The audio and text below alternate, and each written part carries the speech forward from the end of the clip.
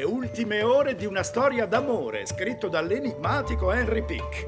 Un vero trionfo letterario. Madeleine Pick, e veniamo alla domanda che tutti si sono ampiamente posti. È sicura che sia stato suo marito a scrivere il romanzo? Si sta prendendo gioco di lui! Ma ve lo immaginate il pizzaiolo bretone che si mette a scrivere un libro così bello?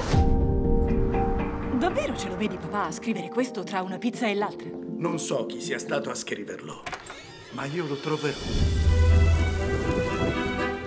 Di essere? Ha un bel coraggio a venire qui.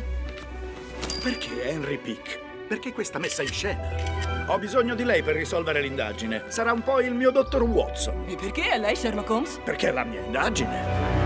Se riuscissimo a trovare una sua lettera, una cartolina. Ho un sacco di sue lettere. Me le ricordavo scritte meglio. Neanche la lista della spesa di Proust sarà un granché. Hanno trovato la lista della spesa di Proust ed è un capolavoro.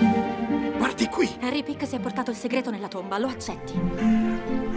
La smetta di importunare mia figlia. No, la smetta lei di minacciarmi con quella sua vanga. No, è una zappa.